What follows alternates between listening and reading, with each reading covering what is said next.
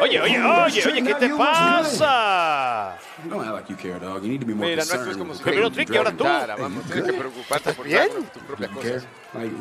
Do you even care? ¿Qué? Vamos, man, siquiera te importa. Oye, hombre, digo lo que tengas que decir. Self pity. Sí, sí, sí, no. Y ahora, claro, tengo lástima por mí mismo, algo por el estilo. ¡Hombre! Yo he perdido por dos semanas consecutivas. Tú estás en la cima del mundo en este momento. Eres campeón de NXT. Tumbaste la casa en Texas. Y yo estoy buscando morder una pulgadita de mi vida. Vamos, no te creas que sabes por qué estoy pasando. Tienes que tranquilizarte primero. Tú no entiendes lo que eso champion right significa ser el I campeón. Yo pasé por guerra el domingo. barely even breathe every Yo time I hasta try to puedo take a breath. siquiera Sufrir para respirar y complaining aquí con- quejándome contra la gente tumbando sillas.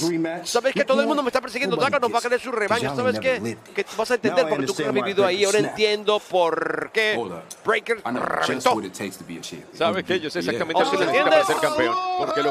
Hola, hola, hola, hola. Esa- Mira que mal luce este hombre. Sí, sí, sabes lo bueno que es ser Y la metáfora. vida es dulce porque yo soy algo que ninguno de ustedes dos jamás será. Y eso es el campeón de la Copa Heritage. You're not the Heritage Tú no eres el campeón de la Copa oye. Heritage. Wes wants to get real. Pues quiere hablar en serio, Nathan parece. Mira. Nathan nunca me venció, pero Dominic, él te venció dos veces. Dos veces. Oye, oye, no te a hablarle de esa manera.